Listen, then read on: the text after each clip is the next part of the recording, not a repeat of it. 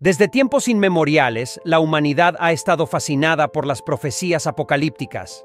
Entre las más impactantes y reconocibles están los cuatro jinetes del Apocalipsis, figuras que emergen de las escrituras bíblicas y han trascendido el tiempo y la cultura para convertirse en símbolos universales de destrucción y juicio.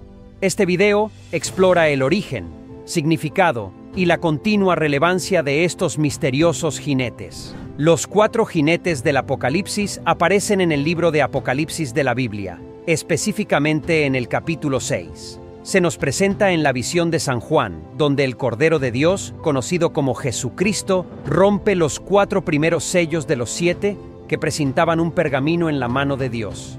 Cada sello roto libera a un jinete sobre la tierra. Si te gusta lo que estás a punto de ver, déjame un like y compártelo con tus amigos. Y no olvides suscribirte para más contenido como este. El jinete del caballo blanco.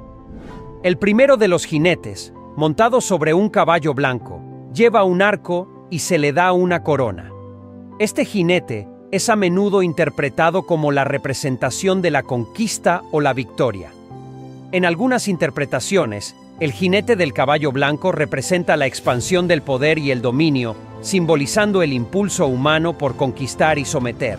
Sin embargo, existen otras lecturas que lo identifican con Cristo mismo, trayendo el mensaje del Evangelio, o con el anticristo, simbolizando la falsa paz y el engaño. El jinete del caballo rojo. El segundo jinete monta un caballo rojo y porta una gran espada.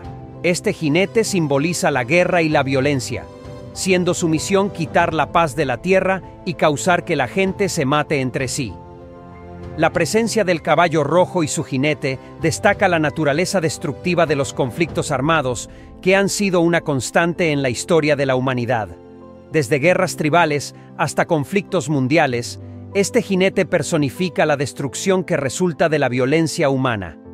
El jinete del caballo negro. El tercer jinete, sobre un caballo negro, sostiene una balanza en su mano. Este jinete representa la hambruna y la desigualdad económica. Esto sugiere un tiempo donde los alimentos básicos se volverán inalcanzables para muchos, mientras que los lujos permanecerán accesibles para unos pocos. Este jinete simboliza la fragilidad de las economías y la vulnerabilidad de las sociedades ante las crisis alimentarias. El jinete del caballo amarillo. El cuarto y último jinete monta un caballo amarillo, cuyo jinete se llama muerte, y el Hades lo sigue. Este jinete simboliza la muerte y la destrucción, trayendo consigo plagas, enfermedades y mortalidad masiva.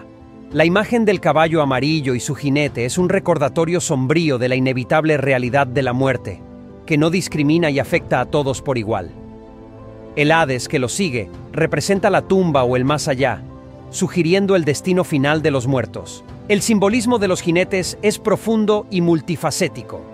Se les ha interpretado de varias maneras a lo largo de la historia, pero comúnmente se les asocia con el tema del juicio divino y la manifestación de la ira de Dios sobre un mundo caído. Representan las fuerzas de la conquista, la guerra, el hambre y la muerte, que juntas desatan una serie de calamidades sobre la humanidad. La figura de los jinetes del Apocalipsis ha dejado una huella imborrable en la cultura popular y el arte. Se les ha representado en innumerables obras de arte, literatura, música y cine. Por ejemplo, el famoso grabado de Alberto Durero del siglo XV es una de las representaciones más icónicas de los jinetes. En la literatura, han inspirado desde poemas hasta novelas de ciencia ficción. En la música, bandas de rock y metal han utilizado la imagen de los jinetes para evocar temas de destrucción y renovación.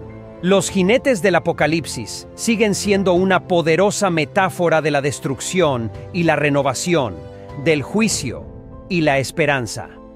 Su presencia en el libro del Apocalipsis no solo ofrece una visión aterradora del fin de los tiempos, sino también una promesa de que, a través del caos y la destrucción, se alcanzará la redención y la nueva creación. La capacidad de estos símbolos para resonar a través de los siglos es un testimonio de su profunda relevancia y significado en la experiencia humana. Y bueno, mi gente curiosa, hasta aquí nuestro vídeo de hoy. Déjame un like y comenta para saber qué te has pasado. Nos vemos en el próximo video.